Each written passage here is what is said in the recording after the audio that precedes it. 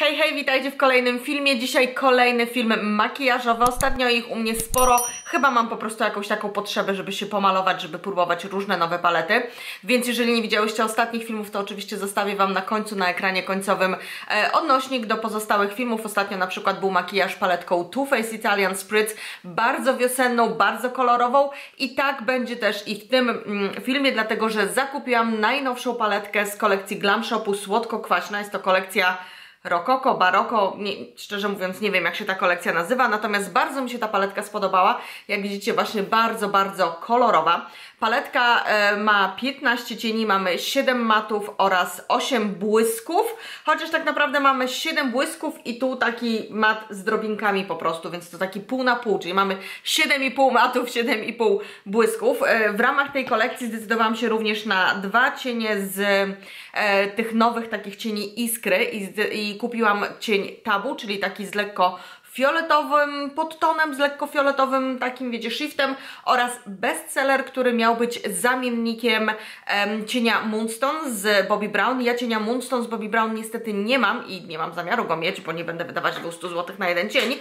Natomiast widziałam już w internecie na różnych... Mm, Instagramach, rolkach, takich rzeczach, że to w ogóle nie leżało koło Moonstone, tak więc jeżeli się zastanawiałyście nad tym, e, no to nie, to bestseller nie jest zamiennikiem Moonstone. Podobno bliżej, mm, e, bliżej cieniowi świetlik, też z Glam Shopu, do cienia Moonstone. To porównanie robiła u siebie na Instagramie e, Agnieszka Janoszka, tak więc jeżeli Was to interesuje, to tam za zajrzyjcie. I ja świetlik zamówiłam, ale akurat w Contigo i po prostu jeszcze do mnie nie dotarł, nie, nie dotarł ten cień, tak więc myślę, że pewnie, mam nadzieję, że on jeszcze jeszcze do mnie przyjdzie, bo jak teraz nagrywam takie w zasadzie pierwsze wrażenie tej paletki, jak widzicie ona jest jeszcze w ogóle nawet niedotykana, niesłoczowana przeze mnie, natomiast potem będę chciała się trochę tą paletką pobawić, tymi makijażami i wrócić do Was po kilku dniach na podsumowanie, żeby powiedzieć Wam właśnie co o niej sądzę. Akurat tym razem tak wyszło. Często jest tak, że po prostu dostaję paletkę i bawię się nią i dopiero nagrywam film, ale ponieważ ta paletka przyszła do mnie w piątek, a mamy niedzielę e, i teraz mam czas, żeby właśnie nagrać taki powiedzmy dłuższy film, a potem już tylko takie krótsze podsumowanie, no to dzisiaj akurat będzie tak. Zamówiłam jeszcze z tej najnowszej kolekcji rozświetlacz właśnie w żelu, jest to rozświetlacz, e, który ma, który nazywa się Antonina, mm, jest to taki bardzo żelowy rozświetlacz, nie, znaczy rozświetlacz żelu jest bardzo żelowy, to nie było mądrze powiedziane.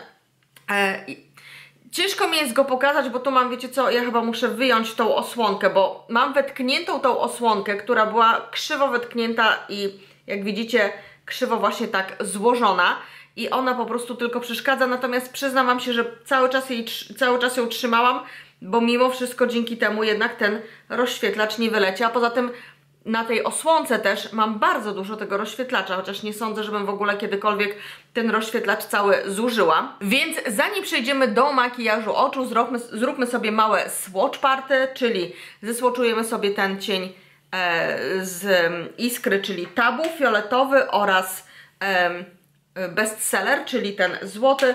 No i skorzystam właśnie z tej mm, osłonki i tutaj zgarnę trochę tego rozświetlacza na ostatni palet, żeby Wam właśnie go w jakiś sposób pokazać. Więc będziemy swatchować i tak, tutaj jest tabu,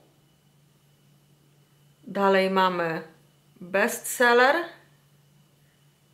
i na końcu rozświetlacz w żelu Antonina, więc tak się to prezentuje. Na górze tabu, bestseller oraz rozświetlacz Antonina. Mam nadzieję, że jest to widoczne, aczkolwiek wiem, że ni niestety jeśli chodzi o teraz, wydaje mi się, że widzicie na rozświetlaczu Antonina, że mamy taki poblask właśnie czerwono-różowo-złoty, ale niestety właśnie jak go już próbowałam jako, nakładać jako rozświetlacz, to niestety to tak właśnie bardzo widać drobinki brokatu. Nie wiem na ile to też będzie widoczne tutaj na moich palcach. Tutaj jest rozświetlacz właśnie że te drobinki brokatu niestety są bardzo, bardzo widoczne. Nie ma takiego ładnego blasku, ja w ogóle zapomniałam o tym rozświetlaczu i mam nałożony rozświetlacz z Rare Beauty w tej chwili na policzkach. I właśnie o to chodzi, że jak się nakłada ten rozświetlacz, to nie ma takiego ładnego blasku, tylko widać drobiny brokatu. Ale ja go jeszcze spróbuję e, ogólnie ogarniać, natomiast to jest na pewno produkt, który zastyga, więc możecie z niego korzystać, na przykład używać go jako cień do oczu, myślę, wydaje, że chyba będzie lepszy.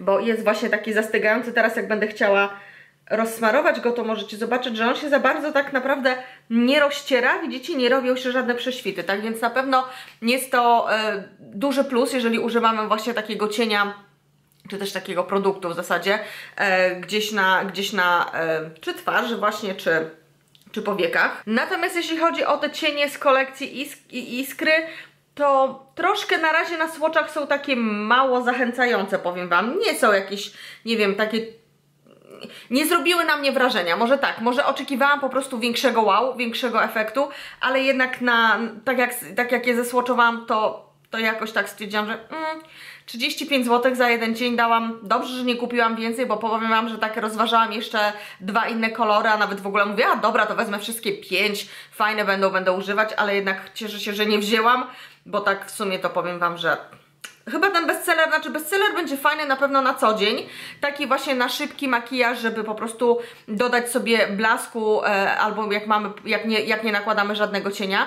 E, no tabu jest bardzo chłodnym, takim właśnie fioletowym, więc to zależy oczywiście od naszej karnacji, czy nam taki cień będzie pasował. No i teraz w takim razie przejdźmy do paletki. Błyski w tej palecie jeszcze też są przeze mnie nieużywane, mam 5 palców, więc zastanawiam się, który by zesłoczować. Wydaje mi się tak, weźmy Sztukateria, w zasadzie to cztery pa... Uch, zapowiada się bardzo ładnie.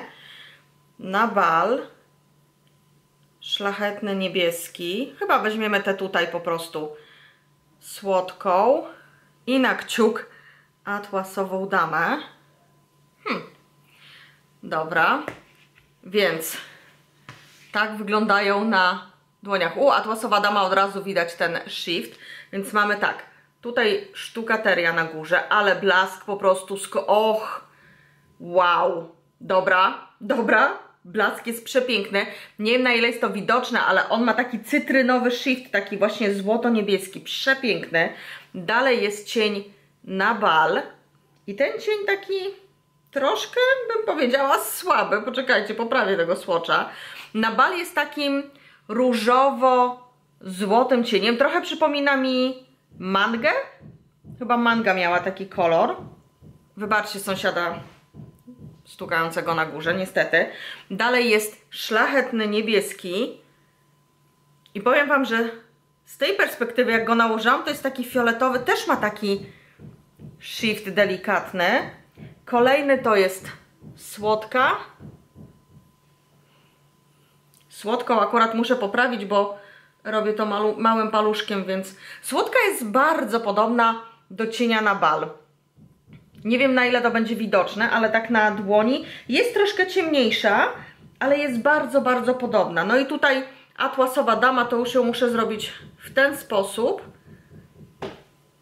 I tak wygląda atłasowa dama. Ma taki ładny shift, ale zobaczcie, że niestety ma taką tą brzydką, nie wiem, bazę, widzicie? Takiego brązu. Bardzo mi się te bazy nie podobają. I to już jest któryś cień, który właśnie tak fajnie wygląda, ale ta brzydka taka baza, nie wiem, koloru mm, brudnych ścieków, nie wiem jak to nazwać. Bardzo mi przepraszam, że tak, taki obrazowy ten, ale to jest właśnie taki żółto-brunatno-brązowy, brzydki kolor. I po prostu, no niestety, ale u mnie najczęściej widać wtedy taką właśnie bazę. Nie widać tego ładnego shiftu, tylko widać taki właśnie brzydki kolor. Także no, troszkę szkoda. Myślałam, że tą atłasową damę sobie właśnie gdzieś wykorzystam w cieniu, ale w tym momencie to powiem Wam, że, znaczy w cieniu, w makijażu, w tym momencie nie wiem. Także, tak się prezentują te słocze, natomiast ta sztukateria, powiem Wam, że to jest cień naprawdę przekozacki. I teraz cała moja dłoń właśnie jest w brokacie od tej sztukaterii, bo ona miała najwięcej najwięcej właśnie takich brokatowych drobinek, ale nic to.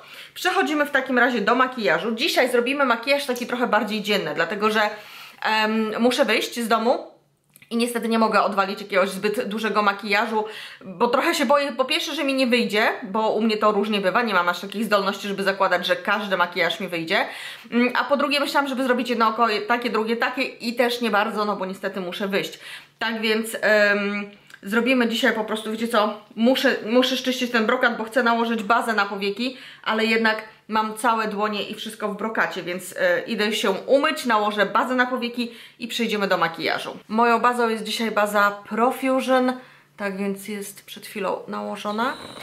To Was troszkę zbliżę ustawię wszystko. No i lecimy. I ponieważ dzisiaj robimy delikatny makijaż, to zacznę właśnie od tego najjaśniejszego cienia. Wziąłam sobie pędzelek, to jest Embrush szóstka. Taki, e, taki puchaty, dobry do rozcierania i jak to się nazywa? Matowa kremówka. Czyli biorę ten właśnie najjaśniejszy kolor i nim delikatnie przejadę po, po tej mojej bazie. No widzę, że on jest bardzo delikatny. Nie wiem, czy coś się w ogóle na niego, na ten pędzel nabrało. O, trzeba było wziąć jednak troszkę więcej. I nałożę go właśnie... W ogóle cienie, słuchajcie, nie sypią się, nie podnoszą. Ja teraz e, tym cieniem, tym pędzlem tak dosyć mocniej wzięłam tą kremówkę, bo właśnie za pierwszym razem tak się niewiele jej tutaj podniosło i naprawdę zobaczcie, że nie ma takiego właśnie, wiecie, odrzutu cienia, jaki zazwyczaj w Glam Shopie jest i tak myślę, powiem Wam, z jednej strony chcę właśnie zrobić bardziej taki naturalny dzień, taki spokojny makijaż tą paletką, ciekawe czy, da się, czy, czy się nie uda, chociaż wydaje mi się, że tak, mm, a z drugiej strony jednak korci mnie, żeby sięgnąć na przykład po ten fioletowy cień, który tutaj jest, on się nazywa Grajek, e, może po niezapominajkę, no właśnie tak, no chociaż chyba raczej będę korzystać tutaj e, z tych cieni, ale ale właśnie taką miałam ochotę. Więc teraz w takim razie wezmę ten pomarańczowy porcelankę na ten sam pędzel i też zobaczcie, w ogóle nie robię tego delikatnie, tylko dźgnęłam to. Jest wszystko na pędzlu, to się tak bardzo nie podnosi. Odbiłam troszkę, bo jednak dźgnęłam dosyć mocno, ale widzę, że zdjęłam za dużo. Więc zupełnie inaczej są te cienie sprasowane e, niż to, do czego Glam Shop nas przyzwyczaił. Chociaż mam wrażenie, déjà vu, że ja już to mówiłam, więc muszę, muszę po prostu też e, przed nagraniem podsumowania przejrzeć swoje poprzednie filmy, bo wydaje mi się, że już chyba przy tych kawowych e, paletach, z których tak średnio nawet szczerze mówiąc byłam z nich zadowolona, jeśli chodzi o dobór cieni, to wydaje mi się, że one też się właśnie już tak nie sypały, e, nie to co kiedyś, więc możliwe, że po prostu Glam Shop zmienił sposób sprasowywania cieni i teraz to już jest norma. I teraz nie ma co jakby nawet o tym nie wiem, czy wspominać, czy coś, bo jakby w tej chwili tak, tak wyglądają właśnie te, te, te tak się pracuje z cieniami Glam Shopu, może, może tak. Więc nakładam sobie tą, jak to się nazywało, porcelankę. I ten pędzelek jest dobry, żeby właśnie tak nakładać, ale też przy okazji tutaj rozcierać, żeby zrobić taką delikatną chmurkę. Bardzo lubię w ogóle ten pędzel, chyba mam go nawet w dwóch wersjach, czyli mam w tej wersji burgundowej, trochę dłuższej i w wersji czarnej, mm, czyli z krótszym trzonkiem. No i teraz mniejszy pędzelek i suflet czekoladowy, również Embrush, tylko 0,7 i będę nakładać, tak wiecie, st standardowy makijaż, czyli w zewnętrzny kącik, żeby lekko go przyciemnić, ale nie wiem, czy to widać. Ten suflet czekoladowy nie jest jakoś szczególnie mocny, więc zaraz spróbuję chyba ten buduarowy burgund. I zobaczymy, może tym buduarowym burgundem tutaj będziemy w stanie trochę więcej zdziałać, bo mm, ten suflet taki, bym rzekła, że jest bardzo delikatny, trochę jak Pariens, ten brązowy cień, który też tak naprawdę był bardziej brązowy w palecie. No bo zobaczcie, jeżeli porównamy sobie te dwa cienie tutaj, a teraz jak one wyglądają na oku, to tak rzekłabym, że średnio, średnia różnica pomiędzy jednym a drugim cieniem. No i go trzeba jednak bardzo dużo dokładać. Natomiast plus jest taki, że się nie osypują, bo jak widać mam makijaż twarzy, więc jakby mi się jakoś za bardzo osypywały, nie byłabym szczególnie pocieszona. Więc plus jest taki, że właśnie no nie ma tego osypu tak bardzo. Wrócę sobie do tamtego pędzelka i trochę to rozetrę, bo jest nim łatwiej, bo jest po prostu większy, więc ta sama robota przy dwa razy mniejszej ilości ruchów niż przy takim malutkim pędzelku. I korzystając też z tego samego pędzelka i dalej z tego właśnie cienia suflet czekoladowy, nałożę go na dolną powiekę też. No dobra, Widzę, że jakiś tam delikatny osyp się pojawił. I może spróbujmy ten buduarowy burgund delikatnie, tym samym pędzelkiem, tylko troszkę go tutaj właśnie szczyszczę w ręczniczek, e, chociaż ten brązowy nie był aż tak intensywny, ale delikatnie szczyszczę. I ten buduarowy burgund wziąć właśnie na pędzelek i spróbować go może troszkę tutaj właśnie w ten zewnętrzny kącik. Tak już bardziej bym rzekła wciskając. Chyba nawet chyba nawet to może dać fajny efekt. Taki trochę dodatkowy kolor jeszcze do tego, że to nie jest tak brązowo, tylko właśnie ten burgundowy daje taki fajny właśnie, fajny kolorek. No, to, to był dobry pomysł, ale chyba teraz trochę za dużo go nałożyłam, więc rozetrę od razu. Muszę przyznać, że ten buduarowy burgund ma naprawdę mocny pigment, dlatego że po nałożeniu tutaj na zewnętrzny kącik nic już go nie dokładałam i tak tylko cały czas rozcieram. I zmieniła się tonacja w ogóle tego makijażu, właśnie troszkę tego czerwonego weszło, no bo jednak burgund wjechał, więc wrócę sobie do tego dużego pędzelka i do porcelanki, czyli tego pomarańczowego koloru i troszkę jej tutaj dołożę, żeby jednak wrócić do powiedzmy może bardziej właśnie takiego pomarańczowego cienia, ale nie za dużo jej dokładam, tylko tak po prostu, żeby powiedzmy to był taki mm, nie wiem, bardziej kolor na wierzchu. O.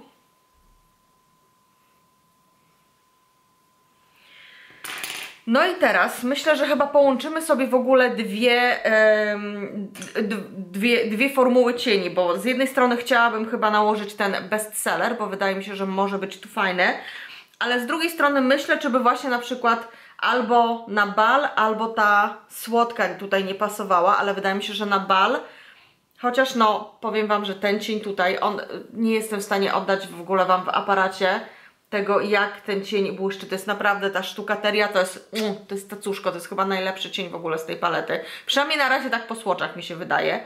Może tą sztukaterię na przykład wewnętrzny kącik dać, czyli na przykład zmoczę sobie malutki pędzelek i właśnie delikatnie nałożę tą sztukaterię wewnętrzny kącik. O, nie wiem, czy Wy widzicie już ten blask, ale ja go widzę. Czuję, że się niestety troszkę osypuje, no bo to jest taki płatkowy błysk, więc to niestety jest norma. Ale wydaje mi się, że jest to widoczne i całkiem spoko wygląda.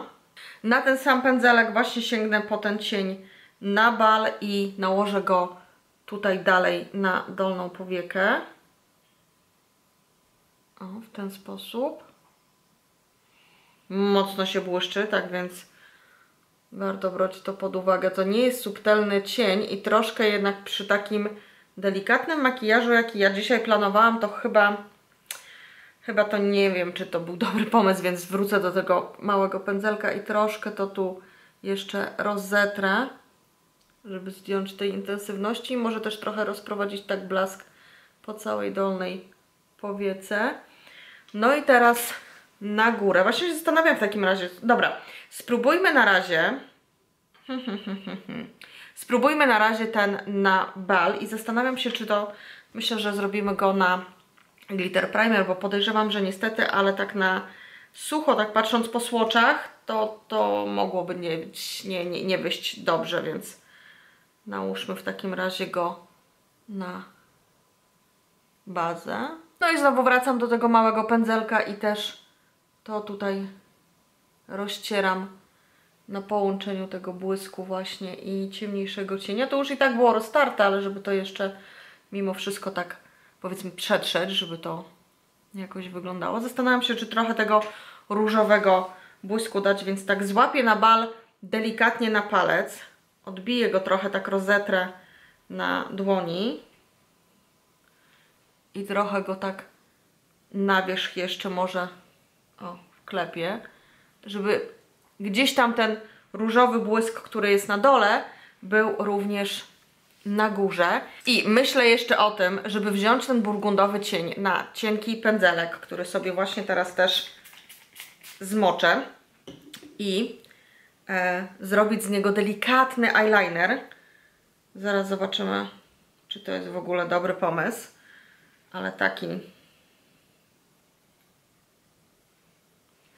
ale takim, tak, tak mi się zachciało, więc delikatnie tutaj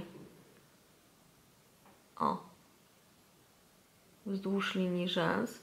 Ten kolor właśnie cienia jest bardzo podobny do koloru kredki burgundowa, którą kiedyś Glam Shop wypuścił.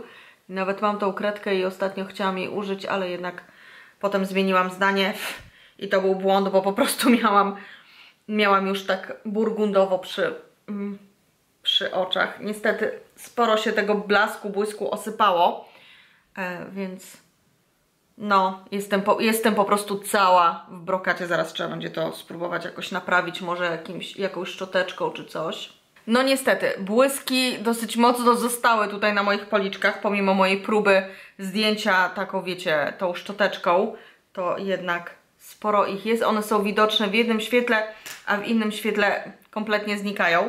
Także ja sobie teraz wytuszuję rzęsy, e, pomaluję usta i za chwilkę do Was wrócę. Makijaż skończony, rzęsy wytuszowane, pomadka nałożona. Właśnie chciałam zrobić taki bardziej makijaż dzienny, czyli e, pomimo tego, że paletka jest bardzo kolorowa, no to właśnie można z nią zrobić jakiś fajny dzienniaczek, a wykorzystując właśnie jakiś taki akcent koloru. Ja akurat dzisiaj mam bardzo delikatnie, bo ten burgund jest po prostu bardzo ciemny, więc on nie jest jakoś tak bardzo widoczny, ale na przykład w innym makijażu, również takim dziennym, można wykorzystać ten fioletowy jako akcent kolorystyczny, więc wydaje mi się, że to może być ciekawe, ale w kolejnych makijażach na pewno pobawimy się i zrobimy coś takiego bardziej intensywnego, natomiast na tę chwilę właśnie o to mi dzisiaj chodziło. Niestety ten właśnie cień na bal bardzo mocno się osypał, zresztą ten też, chociaż jeden nakładany na mokro, drugi nakładany no w zasadzie na, e, na to, bo w sumie najpierw był NYX Glitter Primer, ale potem poszedł ten cień e, bestseller i dopiero potem na bal, więc on się już niestety tutaj bardzo mocno osypał,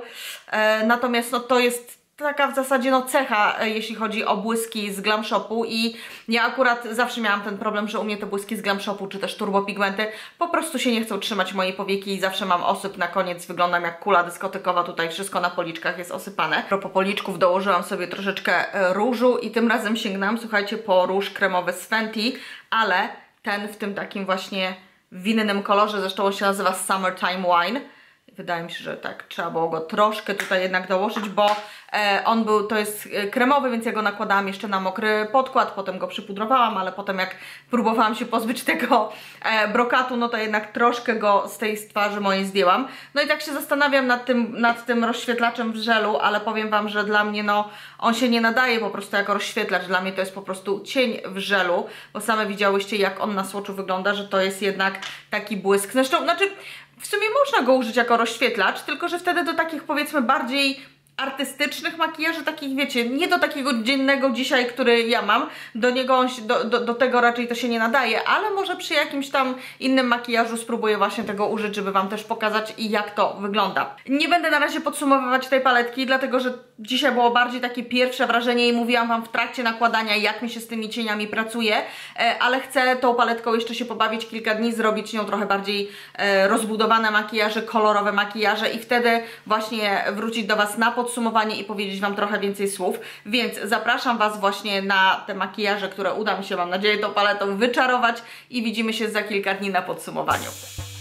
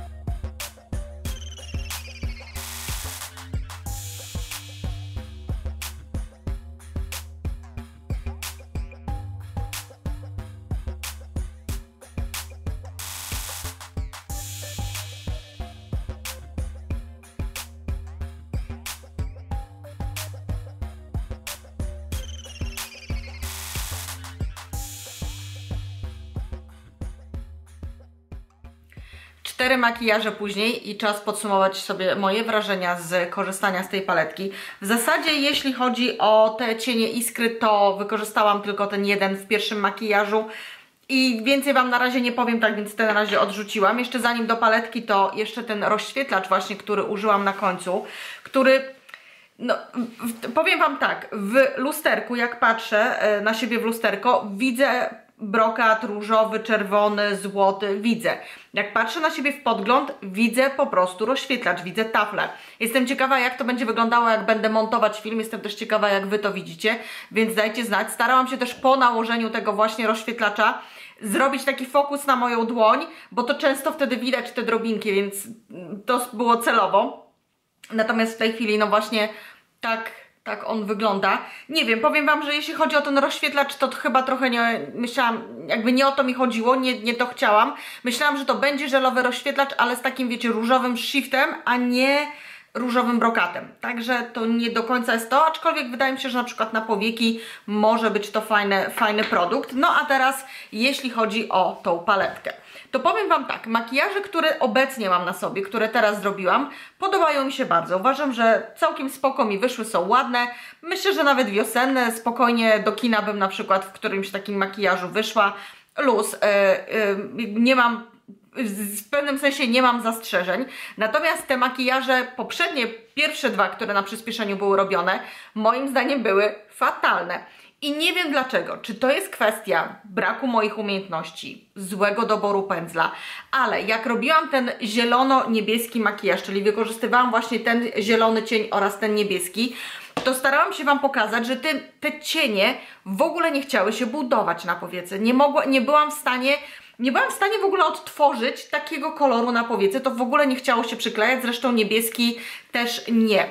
I tak jak mówię, nie wiem, czy to wynika z mojego braku techniki, mojego, nie wiem, braku szkoleń i że powinna była wziąć albo inny pędzel, albo inaczej nakładać, ale starałam się nakładać mm, te cienie pędzlem takim bardziej płaskim, czyli takim bardziej, wiecie, pakującym, a nie rozcierającym. I nawet tym pędzlem też potem rozcierałam te cienie, czyli właśnie delikatnie, żeby nie za bardzo za dużą miotełką, tylko mimo wszystko bardziej zbitym pędzlem i to po prostu w ogóle nie wychodziło. Także bardzo trudno jest osiągnąć taki kolor, jaki mamy w palecie. Tak samo z tym fioletem. Ten fiolet też używałam wczoraj w makijażu, dzisiaj w makijażu. No takiego fioletu nie jesteśmy w stanie e, otrzymać, chyba że nałożymy to, nie wiem, na glitter primer, bo nawet dzisiaj przecież nałożyłam na świeżo bazę i od razu poszłam w ten fiolet i zaczęłam go tutaj pakować. No i, i I'm sorry, ale moim zdaniem to nie jest taki, taki fiolet jak tutaj. To samo z tym burgundowym. Ten burgundowy użyłam w pierwszym e, makijażu, który, w którym do Was mówiłam, jako kreska i on tam był widoczny, ale potem jak go próbowałam używać właśnie jako takie przyciemnienie, zresztą tutaj mam go na dole, to znowu to jakby no nie jesteśmy w stanie uzyskać takiej, tak, tak, ciemnego, e, tak ciemnego cienia. Jeśli chodzi o te dwa brązowe cienie, to one znowu wypadają bardzo podobnie na powiece. Nie wiem, czy zwróciłyście uwagę, jak robiłam ten makijaż. Najpierw nałożyłam ten ciemny, potem połączyłam go z tym, potem dodałam ten, ale finalnie na koniec dodałam ten różowy. Wydaje mi się, że akurat ten różowy ładnie zamknął to całe oko. I w sumie chyba nawet dobrze, że on był na tych pozostałych, ale dla mnie to w ogóle wyglądało bardzo dziwnie. A propos, słuchajcie, coś tu z rzęsą mam. A propos, słuchajcie, tego właśnie różowego mm, odcienia, on się nazywa Panicz, który miałam w, wczoraj w jednym e, makijażu, tak od razu na bazę nałożone. E, bardzo farbuje. Jeżeli macie wrażliwe oczy, to możliwe, że e, tutaj ostrzegałabym, bo pomimo tego, że miałam bazę na powiekach, to i tak jak zmyłam makijaż, moja ta powieka była lekko bardziej różowa niż ta powieka, na której tego właśnie mm, różowego nie było. Więc dzisiaj akurat ten różowy mam tylko tutaj, więc zakładam, że jakby nic się nie będzie działo. To, co ratuje tą paletę, to są po prostu standardowo przesajebiste błyski, bo Glam Shop umie w błyski. E, to, co mówiłam na początku, czyli tutaj ta atłasowa dama, która mi się wydawała, że właśnie no, będzie słaba, bo będzie tam miała tą ciemną bazę, no nałożyłam ją na tą powiekę i naprawdę wygląda spoko. Wczoraj na ten średnio udany zielono-niebieski e, makijaż nałożyłam ten cień tutaj, czyli on się nazywa Rococo i to jest bardzo ciekawy cień, widzicie ten shift niebiesko właśnie zielony, bardzo ciekawy cień, on ma jeszcze jakąś taką właśnie żółtą, śmieszną bazę, bardzo, bardzo dziwnie wygląda, ale też właśnie błyski ratują te makijaże. W zasadzie nie mam zastrzeżeń co do żadnego błysku, może ewentualnie liliowy pałacyk, bo on jest taką po prostu lekko duochromową perłą. Jest taki, powiem Wam, że słabiutki bym rzekła. Zobaczcie jak on wygląda właśnie i teraz jak e, gdzieś tu miałam rozświetlacz roztarte. Widzicie? No to w porównaniu z tymi pozostałymi błyskami on jest po prostu taki, no taki okej, okay, to nie jest zły cień, ale właśnie no tak jak mówię, w porównaniu z innymi błyskami nie robi aż takiego wrażenia, tak? No ten e, tutaj, czyli sztukateria, to jest w ogóle cień, po prostu taka petarda. Ja powiedziałam w tym pierwszy, w pierwszym wrażeniu, że on jest taki złoto-niebieski, on jest złoto-zielony, żeby była jasność. On jest taki właśnie biało-zielony, lili, nie liliowy, lemonkowy, nie umiem się wypowiedzieć, lemonkowy, złoto-lemonkowy, właśnie coś takiego, cytrynowy, coś w tym stylu. Naprawdę cień jest przepiękny i, na, i będzie, będzie dawał efekt wow. Wydaje mi się, że właśnie w gdziekolwiek byście nie nałożyły, to ten cień da Wam efekt wow. I no w moim odczuciu ta paleta po prostu wygrywa błyskami, natomiast maty niestety pozostawiają bardzo dużo do życzenia. Jestem nie wiem, czy byłam aż tak rozczarowana matami z Glam Shopu, e, bo owszem, byłam rozczarowana kolekcją tą kawową, ale nie matami jako pigment, tylko tym, że te cienie są bardzo podobne albo ułożeniem w palecie, tak jakby, że nie pasowało mi tam. Natomiast tu akurat, no to na przykład jeśli chodzi o ten neonowy, to kojarzy mi się ta paleta Eveline, taka Neon Lime i tam też te cienie były w ogóle kiepskie, takie wiecie, jak kredowe trochę z ze sklepu za 5 zł. Więc jestem zszokowana po prostu tymi cieniami. Nie wiem, słuchajcie, tak jak mówię, ja nigdy się nie pozycjonowałam ani nie twierdziłam, że jestem specjalistką od makijażu. Możliwe, że to jest po prostu kwestia moich umiejętności, kwestia złego doboru pędzli, złej techniki i tak dalej ale ja inaczej nie umiem, tak? Więc dla mnie, no dzisiejsze, tak jak mówię, dzisiejsze makijaże mi się podobają i spoko, i takie makijaże bym robiła, ale wczoraj Wczoraj to była droga przez mękę z tymi makijażami, także mam takie mieszane odczucia co do tej paletki e, i i w sumie sama nie wiem. Myślę, że na wiosnę może być fajna. Da się nią zrobić właśnie fajne, kolorowe makijaże. Może ten zielony potraktować jako eyeliner i na przykład nakładać yy, jakoś na mokro, wiecie, mokrym pędzelkiem do eyelinera i wtedy mieć taki właśnie neonowy, zielony akcent, bo no nie wiem, mi się po prostu nie udało. Oczywiście nie znaczy to, że Wam się nie uda i nie znaczy to, że tymi cieniami się nie da, po prostu znaczy to, że ja tymi cieniami nie, nie dałam rady. Podejrzewam, że niedługo pojawią się albo już się nawet pojawiają, czy na Instagramie różne, różne właśnie makijaże, czy też może na YouTubie zobaczymy, jak tam szybko one się będą pojawiać. Więc ja sama z chęcią obejrzę po prostu inne makijaże, zobaczę jak e, innym osobom pracowało się z tymi cieniami, żeby też podłapać trochę, co zrobiłam nie tak, jak mogę to poprawić, jakich właśnie pędzli powinnam użyć, co powinnam zrobić, żeby właśnie, wiecie, no jeszcze móc się trochę tą paletką, tą paletką pobawić. Jeśli gdzieś już widziałyście makijaże, może na mniejszych kanałach, których YouTube za bardzo nie promuje, bo jednak YouTube promuje częściej duże kanały, to podrzućcie mi na przykład czy nazwy kanałów, czy linki, z linkami to różnie bywa, czasami YouTube nie przepuszcza linków, więc możecie mi nazwy kanału, kanału podrzucić. Jeden filmik jaki widziałam to był jeszcze nawet w dniu premiery i, tu był, i to był u Madeleine Makeup and Beauty i powiem Wam, że moim zdaniem tam widać, że ten właśnie zielony tak się średnio trochę nakłada, bo jak on był nałożony nawet na dolną powiekę taką jakby cieńszą warstwą, to moim zdaniem było widać prześwity.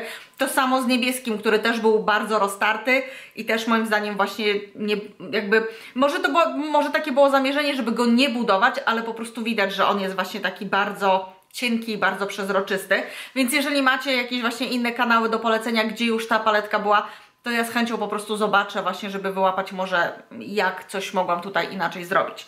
No dobra, słuchajcie, więc to tyle, jeśli chodzi o ten film, jeśli chodzi o te makijaże. Dajcie znać, czy któryś z tych makijaży Wam się podoba, jeżeli tak, to który. Jeśli macie dla mnie jakieś oczywiście sugestie, wskazówki co do właśnie tego, w jaki sposób mogłabym usprawnić, czy jak powinnam nakładać te cienie, co uważacie, może Wy macie tą paletkę, i na przykład znalazłyście jakiś sposób, to koniecznie dajcie mi znać e, w opisie, może w opisie, w komentarzu Bo może też są osoby, które również na przykład się z tym zmagają i mogą być sfrustrowane tą paletką, a na przykład jakiś, jakaś drobna zmiana może pomóc i możemy odkryć zupełnie, wiecie, nowe oblicze danego cienia. Tak więc czekam na Wasze komentarze. Mam nadzieję, że ten filmik Wam się spodobał. Jeżeli tak, to będzie mi bardzo miło, jeżeli zostawicie kciuka do góry oraz oczywiście zasubskrybujecie mój kanał, jeżeli jeszcze tego nie robicie.